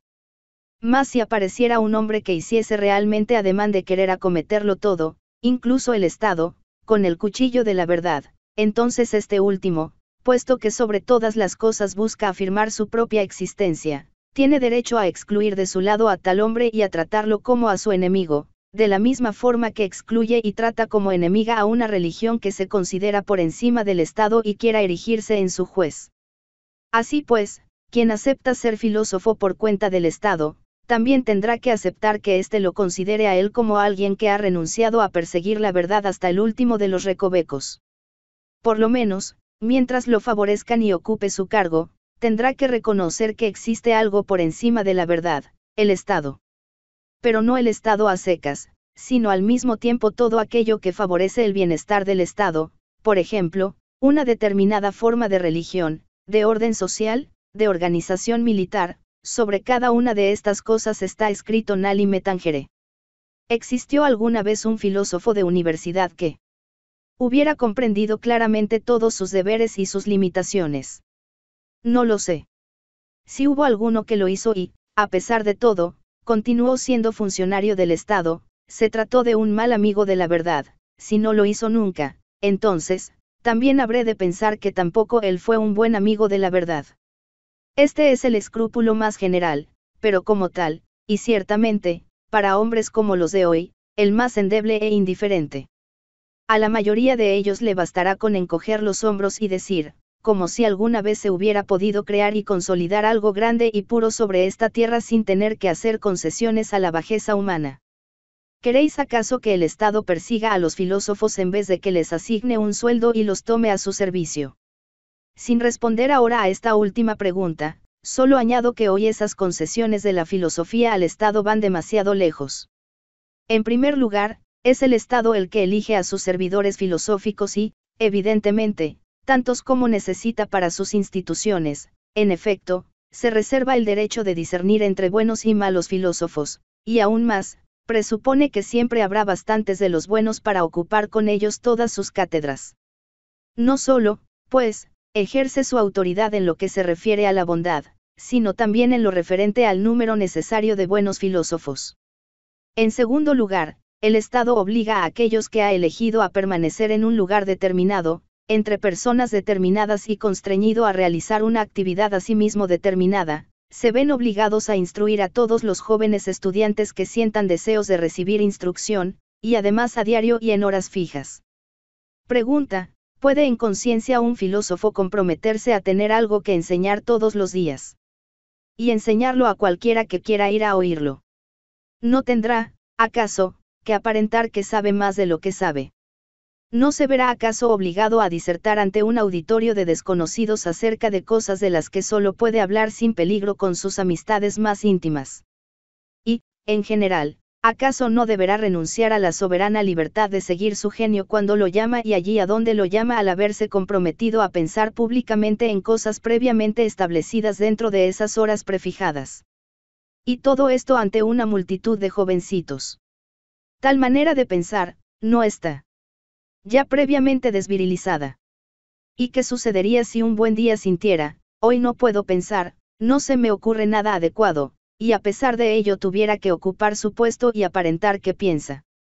Pero, se objetará, no tiene por qué tratarse de un pensador sino de alguien que a lo sumo piense con posterioridad acerca de lo que otros pensaron, ante todo, que se trate de un erudito conocedor de los pensadores anteriores, de los cuales siempre podrá contar alguna anécdota que sus alumnos desconozcan. Esta es, precisamente, la tercera y peligrosísima concesión de la filosofía al Estado cuando aquella se empeña en comprometerse con él en primer término y principalmente como erudición, sobre todo como conocimiento de la historia de la filosofía. Mientras, para el genio, que pura y amorosamente, similar al poeta, mira las cosas y no puede sumergirse lo bastante en ellas, ese escarbar en la multitud de incontables y absurdas opiniones ajenas resulta, a menudo, la más repugnante e incómoda de las ocupaciones. La historia erudita del pasado no fue jamás la ocupación de un verdadero filósofo, ni en la India, ni en Grecia, y un profesor de filosofía, si se ocupa de un trabajo de este género, tendrá que contentarse con que, en el mejor de los casos, digan de él que es un hábil filólogo, o anticuario, o lingüista, o historiador, pero nunca, un filósofo. Esto solo en el mejor de los casos, como hemos observado, pues frente a la mayoría de los trabajos eruditos que realizan los profesores de filosofía, le embarga al filólogo la sensación de que están muy mal hechos, sin rigor científico y, muy a menudo, con una magnífica indiferencia. ¿Quién, por ejemplo, liberará la historia de los filósofos griegos de las emanaciones soporíferas que sobre ella difundieron los trabajos eruditos y, desde luego, no demasiado científicos y bastante aburridos de Ritter, Brandis y Seller. Yo, al menos, prefiero leer a Diógenes Laercio que a Seller, pues en aquel pervive aún el espíritu de los antiguos filósofos, mientras que, en este último, ni aquel espíritu ni ningún otro. Y, en definitiva, por todos los diablos, que les importa a nuestros jóvenes la historia de la filosofía. ¿Acaso con el laberinto de opiniones deben disuadirse de tener opiniones? Habrá que adiestrarlos para que participen del júbilo general por lo mucho que estamos progresando. O quizá deben aprender a odiar y a despreciar la filosofía. Casi podría pensarse esto último cuando se sabe cómo se martirizan los estudiantes a causa de sus exámenes de esta disciplina intentando impresionar en sus pobres cerebros tanto las más absurdas y disparatadas ideas del espíritu humano como las más grandes y más difíciles de comprender. La única crítica de una filosofía que sea posible y que también demuestre algo, esto es, que intente demostrar si se puede o no vivir según sus normas, jamás se enseñó en las universidades, Allí solo se ejerció la crítica de las palabras a las palabras. Y ahora pensemos en una de esas jóvenes mentes, sin mucha experiencia de la vida, en la que tengan que conservarse unos sobre otros y entremezclados 50 sistemas en palabras y 50 críticas a esos sistemas, qué desolación. Qué embrutecimiento. Qué burla frente a una educación para la filosofía. De hecho, hay que admitir que no se educa para ella sino para un examen de filosofía cuyo único resultado será, como se sabe y es habitual, que el examinado, ay, demasiado examinado confiese exhalando un suspiro de alivio, gracias a Dios que no soy filósofo, sino cristiano y ciudadano de mi estado.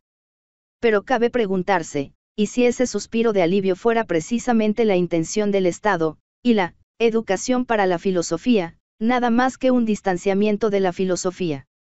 Si así fuera, solo habría que temer una cosa, que la juventud termine finalmente por comprender cuál es el verdadero propósito por el que se comete tal abuso con la filosofía. Lo más excelso, el engendramiento del genio filosófico, no sería sino un pretexto. ¿Acaso el objetivo era precisamente obstaculizar su engendramiento? Tergiversar el sentido en contrasentido. Entonces, Maldito sea todo ese complejo montaje de la inteligencia del Estado y los profesores. Y algo así, no habría sido ya percibido. No lo sé, en cualquier caso, la filosofía universitaria es objeto del desprecio y la sospecha generales. Ello depende en parte de que en la actualidad es muy débil el género humano que domina en las cátedras, y si Schopenhauer hubiera escrito hoy su ensayo acerca de la filosofía universitaria no necesitaría un mazo, para vencerlo le hubiera bastado tan solo una caña. Se trata de los herederos y descendientes de aquellos pseudopensadores sobre cuyas cabezas trastocadas propinó aquel sus golpes, su aspecto es lo suficientemente pueril y mezquino como para que nos acordemos del dicho indio, los hombres nacen, según sus acciones, necios, mudos, sordos, deformes. Aquellos progenitores se merecieron tal descendencia a causa de sus acciones, como enuncia el dicho. He aquí que no quepa la menor duda sobre el hecho de que la juventud académica acabe pronto por arreglárselas muy bien sin la filosofía que se imparte en sus universidades, y que los no universitarios, ya en la actualidad, salgan adelante sin ella. Bastará con que cada cual piense tan solo en su época de estudiante, para mí, por ejemplo, los filósofos académicos fueron siempre personas absolutamente indiferentes y los tenía por gente que intentaba aprovecharse cuanto podía de los resultados de los otros científicos, que leían periódicos y asistían a conciertos en sus horas de ocio y que, por lo demás, sus colegas académicos trataban con un desprecio cortésmente disimulado. Se decía de ellos que sabían poco y que no dudaban en recurrir a argumentos oscuros cuando se trataba de encubrir la miseria de su sabiduría de ahí su predilección por detenerse en esas regiones crepusculares en las que un hombre de mirada clara no se entretiene demasiado. El uno objetaba a las ciencias naturales, ninguna puede aclararme por completo el simple devenir, que me importan, pues, todas ellas. El otro decía de la historia, a aquel que tiene las ideas no le aporta nada nuevo. En definitiva, siempre buscan motivos para justificar por qué es más filosófico no saber nada que aprender algo y si se comprometen con el aprendizaje será porque los anima el secreto impulso de huir de la ciencia y de fundar, en cualquiera de sus lagunas o campos aún no explorados, un reino oscuro. De modo que todavía preceden a la ciencia, pero en el sentido en que la pieza de caza va delante de los cazadores que la persiguen. Últimamente se complacen en afirmar que ellos solos son los guardafronteras y los vigilantes de la ciencia, para esto se sirven de forma especial de la doctrina de Kant, que se esfuerzan por transformar en un escepticismo inútil del que pronto nadie se ocupará más. Solo muy de vez en cuando uno de ellos se lanza hacia una pequeña metafísica. Con las consecuencias habituales, a saber, mareos, dolor de cabeza y hemorragias nasales. Tras el frecuente fracaso de ese viaje a las brumas y las nubes, tras todos esos instantes en que cualquier despiadado y tosudo discípulo de la verdadera ciencia les tira de la oreja y los hace descender, su rostro adopta el rasgo habitual de la afectación y de quien es castigado por embustero. Pierden por completo la jovial confianza, de modo que ninguno de ellos vive el goce de dar un paso más por el placer de ensanchar su filosofía. Antaño, algunos de ellos creyeron descubrir nuevas religiones o sustituir las antiguas con sus sistemas, pero actualmente ha desaparecido tal arrogancia, la mayoría es gente piadosa, tímida y oscura, nunca osada como Lucrecio ni enfurecida por la opresión que ha caído sobre los humanos. Tampoco el pensamiento lógico puede aprenderse ya de ellos, y los ejercicios erísticos, tan comunes en otros tiempos, los han desechado dada la valoración natural de sus fuerzas. Hoy, sin duda, del lado de las ciencias singulares se es más lógico, cuidadoso, modesto, más rico en descubrimientos, en suma, se actúa de manera más filosófica que entre quienes se denominan filósofos. De ahí que todos tengamos que estar de acuerdo con ese inglés libre de prejuicios, Bajeot, cuando afirma refiriéndose a los constructores de sistemas, quien no se haya convencido casi por anticipado de que sus premisas contienen una extraordinaria mezcolanza de verdades y errores, y que por eso no vale la pena reflexionar acerca de sus consecuencias. La forma acabada de esos sistemas atrae quizá a la juventud e impresiona a los inexpertos, pero no deslumbra a las personas cultivadas. Estas se hallan constantemente dispuestas a acoger favorablemente bosquejos y suposiciones y dan siempre la bienvenida a la más mínima verdad, pero un libro entero de filosofía deductiva provoca su desconfianza. Incontables principios abstractos sin demostrar son compilados afanosamente por estas gentes sanguíneas y cuidadosamente expuestos en libros y teorías con ánimo de aclarar el mundo entero. Pero dicho mundo no se ocupa de esas abstracciones, y no es extraño, ya que se contradicen unas a otras. Si en otros tiempos, sobre todo en Alemania, el filósofo se hallaba sumergido en tan profundas cavilaciones que, Constantemente corría el peligro de golpearse la cabeza en cada poste. Hoy, como Swift cuenta de los laputianos, se hacen acompañar por una caterva de batidores que, llegada la ocasión, les propinan suavemente un golpe en los ojos o en cualquier otra parte. A veces esos golpes son algo más fuertes, entonces se olvidan de sí esos soñadores, despiertan de su letargo y pegan a su vez, algo que siempre redunda en su desprestigio. ¿Acaso no ves el poste, Somodorro? Exclama entonces el batidor. Y a menudo sucede que el filósofo advierte realmente el poste y se tranquiliza. Esos batidores son las ciencias naturales y la historia, poco a poco, estas han llegado a vapulear de tal manera ese atolladero alemán de la ensoñación y el pensamiento que durante tanto tiempo se confundió con la filosofía, que aquellos pensadores de pacotilla querrían renunciar voluntariamente al deseo de hacerse independientes, pero sí, sin darse cuenta, caen en brazos de estos batidores o recurren a ellos como andaderas que los tutelen, enseguida estos últimos comienzan a armar un escándalo terrible como si quisieran decir, esto es lo que nos faltaba. Que un pensadorcillo semejante pretendiera ensuciarnos las ciencias naturales y la historia. Fuera con él.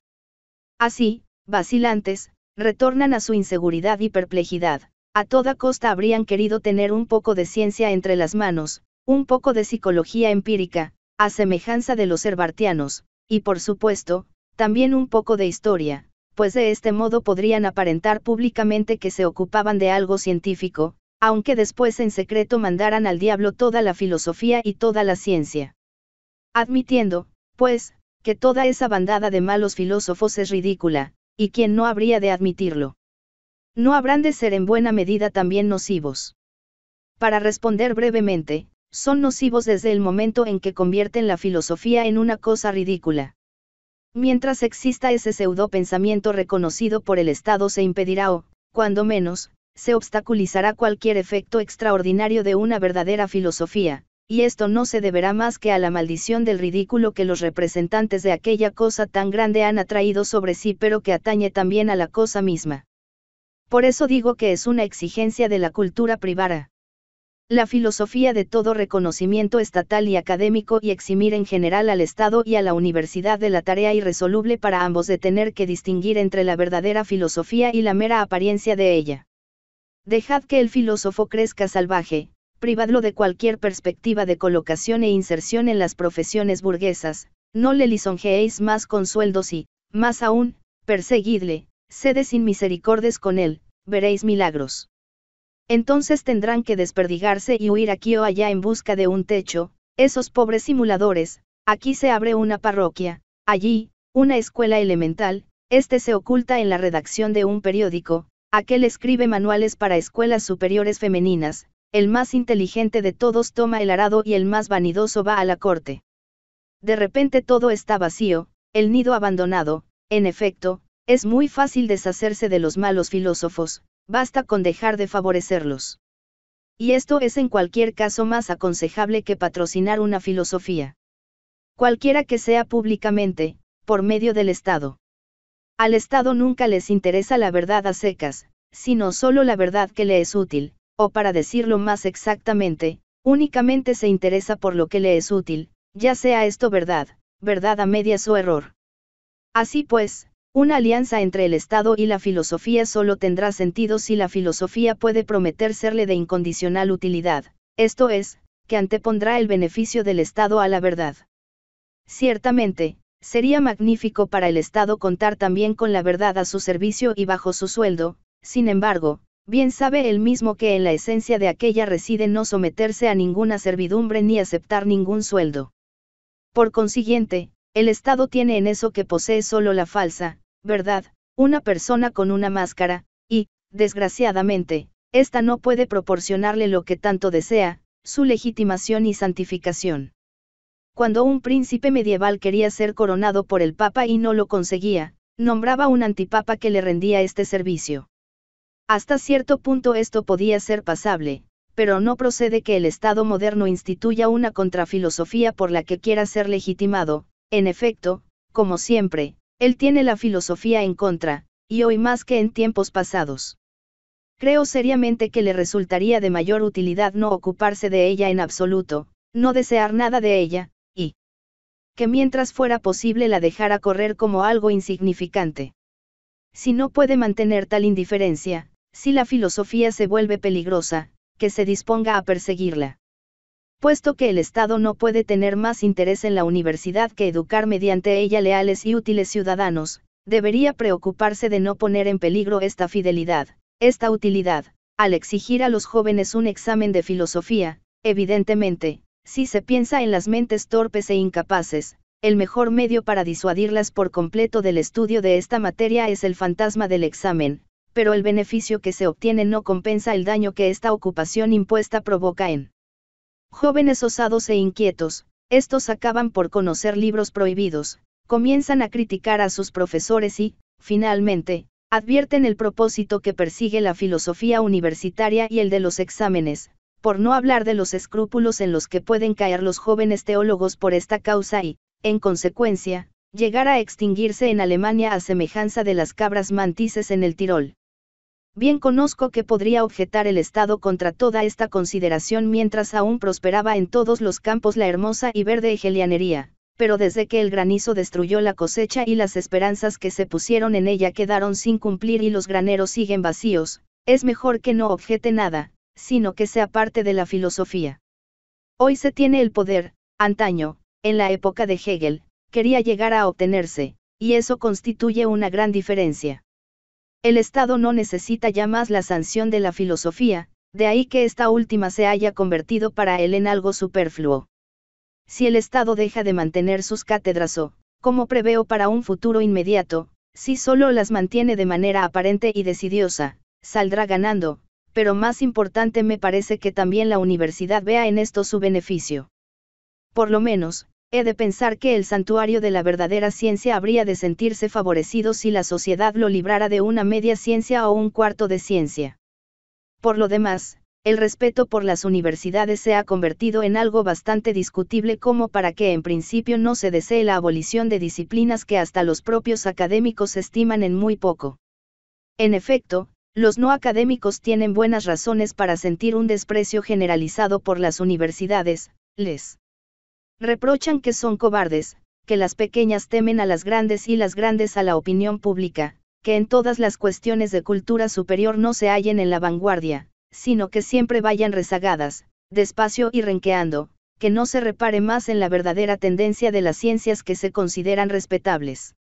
Nunca, por ejemplo, se realizaron estudios lingüísticos con tanto celo como hoy sin antes haber considerado necesario el sometimiento de uno mismo a una severa educación en la escritura y la palabra. La antigüedad de la India abre sus puertas, y sus conocedores mantienen con las imperecederas obras de los hindúes apenas otra relación que la de un animal con la lira, a pesar de que Schopenhauer consideró el conocimiento de la filosofía india como una de las mayores ventajas de nuestro siglo con respecto a los anteriores.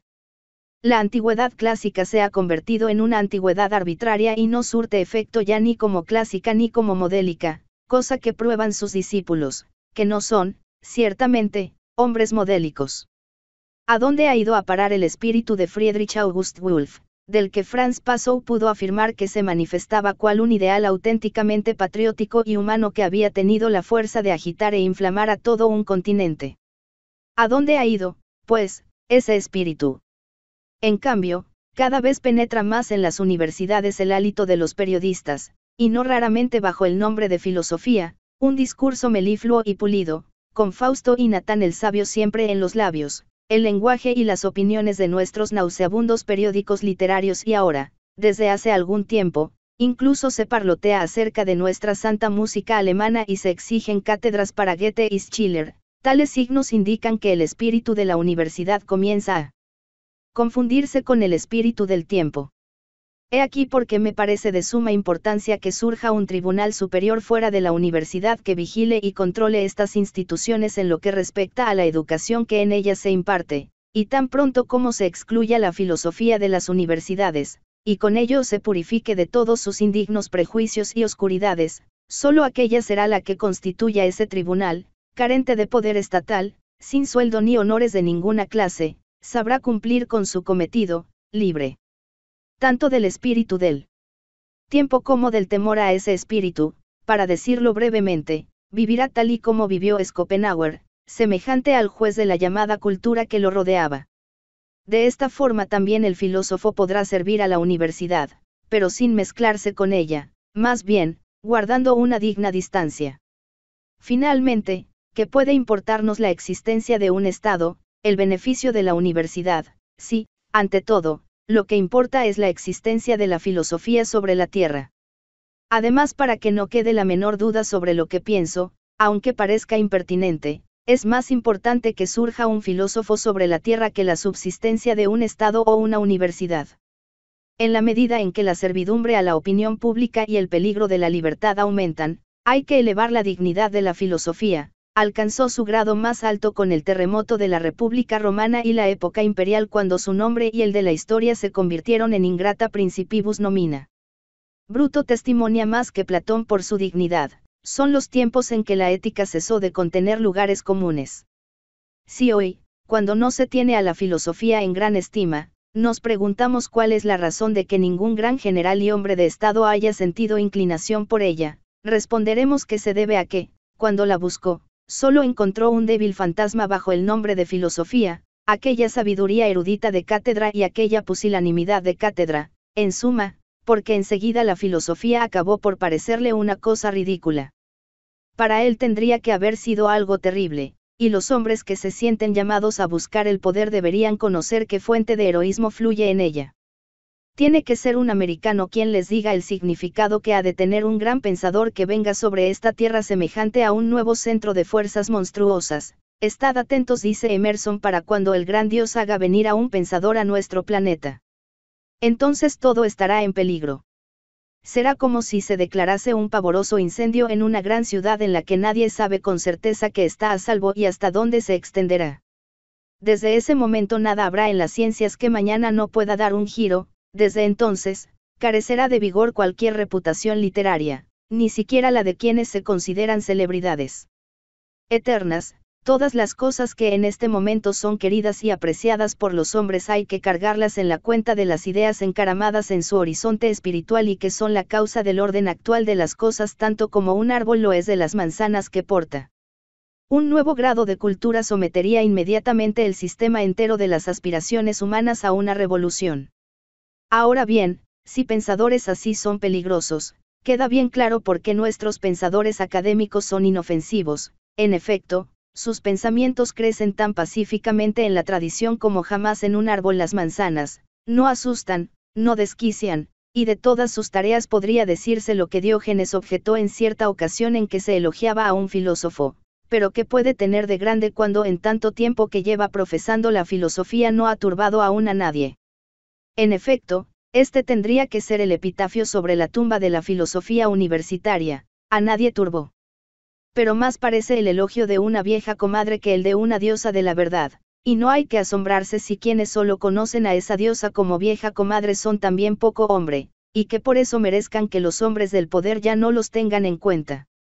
Siendo esto así en nuestra época, la dignidad de la filosofía está pisoteada, parece como si ella misma se hubiera transformado en algo ridículo e indiferente, de modo que todos sus verdaderos amigos tienen la obligación de presentar testimonios en contra de este equívoco o, por lo menos, demostrar que solo esos falsos servidores y deshonestos representantes de la filosofía son ridículos e indiferentes, y más aún, probar ellos mismos con la acción que el amor a la verdad es algo terrible y violento.